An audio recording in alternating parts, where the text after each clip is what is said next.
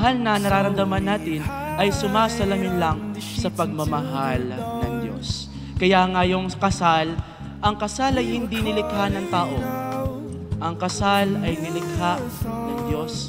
At marapat lamang na ang mga ikakasal ay dapat humihingi ng basbas sa Diyos. Bright eyes taking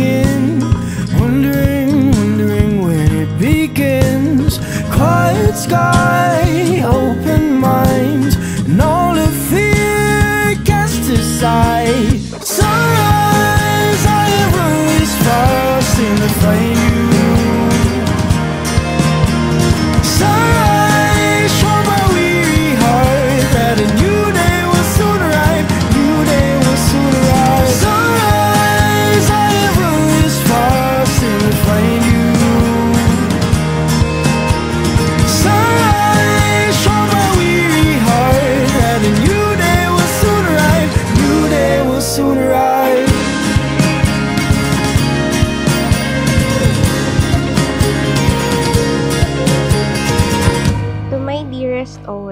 my great love, my husband.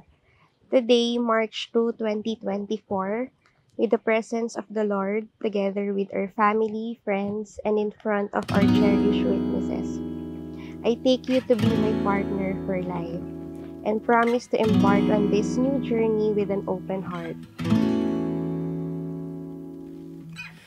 Hey, have you ever tried really reaching out for the other side? Maybe climbing on rainbows, but baby, here goes.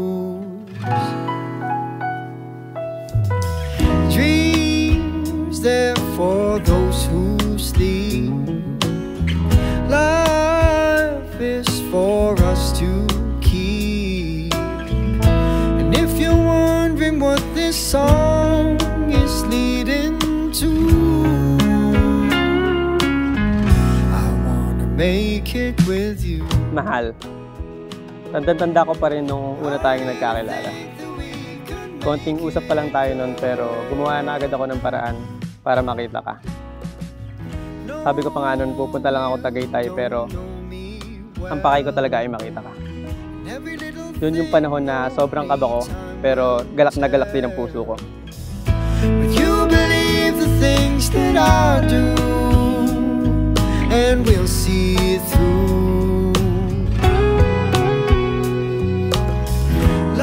of all the unending struggles and doubts in life, I ask God, ano po ba yung purpose ko sa life?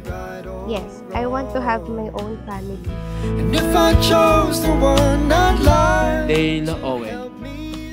Bukal ba sa iyong loob ang iyong pagparito upang makaisang dibdib si Arian May na iyong pakamamahalin at paglilingkuran habang buhay? Kababalo. make it good.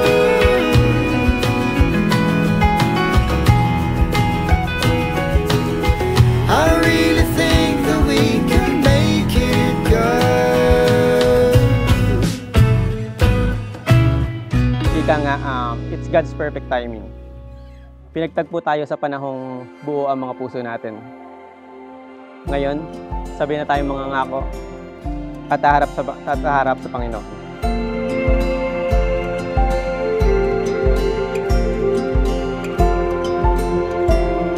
Arian May, bukal ba sa iyong loob ang iyong pagparito upang makaisang dibdib si Dale Owen na iyong pakamamahalin at paglilingkuran habang buhay?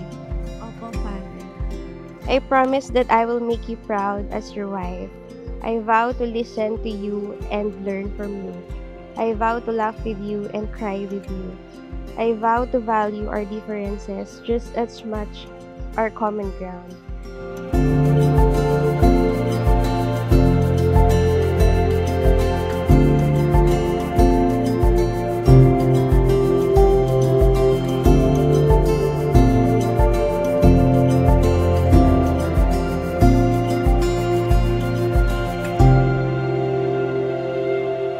Today, hindi lang isa sa mga dreams ko ang matutupad.